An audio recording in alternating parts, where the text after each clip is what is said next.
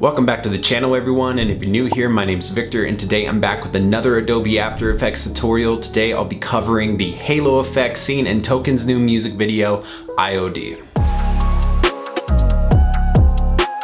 Now it's worth mentioning that when I shot this, I added an orange light above my head that was just sitting on my ceiling fan and had it shining right down on my head to give off the light and color from the halo that should be there. All right, once you have your footage, open it up in After Effects, and the first thing that we're going to do is motion track. So double click on your layer to open up the layer panel and then go to the tracker and then hit track motion, but you're going to click on position and rotation. And I will give you two boxes, so put one box around each eye and let the tracker work. Once the tracker is complete, go ahead and create a new null object and then apply the tracking data to the null object. Now go layer, new, solid, and then choose the color for whatever color you want your halo to be. My recommendation is to at least keep the color bright for the glow purposes. Now hit T on the keyboard to bring up the opacity and just lower the opacity on that color solid just a little bit so we can see where we're gonna make a mask and then go up to the ellipse tool and then make an oval shaped mask over the head and that will be the outside of the halo ring.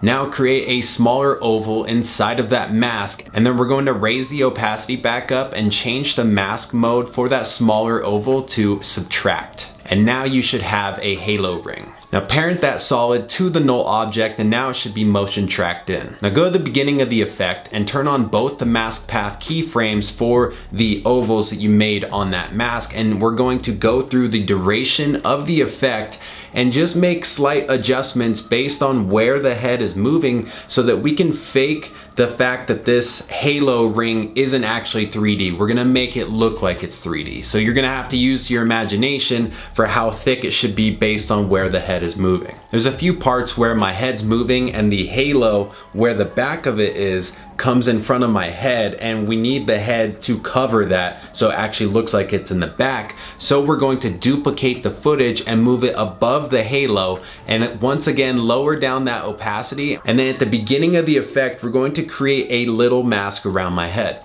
Also, I gotta say, it's a little easier for me to mask since I'm bald. Turn on the mask path keyframes and boost the feather just slightly. I then turned the opacity back up to 100% and then lowered my feather even more from 5 to 2 because 5 was just too intense. Now move through the duration of the effect and adjust the mask so that whatever part of the halo is supposed to be behind the head stays behind the head. All right, now we're gonna add a glow effect. I added Optical Glow from Red Giant. That's a third-party plugin, and if you don't have access to that, don't worry, you can still use the regular glow effect in After Effects. You'll just have to play around with the thresholds. Now here we run into a problem that when I add the glow directly to the halo, we get weird light wrapping because of that mask that we just created. So the workaround for this is to not apply that glow effect directly to the halo. What we're going to do is pre-compose everything all together and then add a glow on top of that and then adjust the glow effect to only affect the brightest highlights, which is why I said earlier that you wanna choose a bright color for the glow purposes.